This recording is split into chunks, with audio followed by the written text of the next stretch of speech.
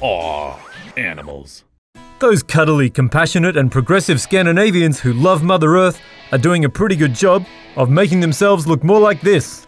After yesterday, when Denmark's Copenhagen Zoo gleefully killed and butchered two year old Marius, a young, healthy giraffe whose only crime was having the wrong genes. And just to make the point clearer, it then fed him to lions as visitors watched. Taking advice from the European Zoo Association, the zoo did this to prevent inbreeding. And to make damn sure he wasn't going to do things to his cousin. Bad giraffe. As the zoo's breeding program already had enough animals with similar genes.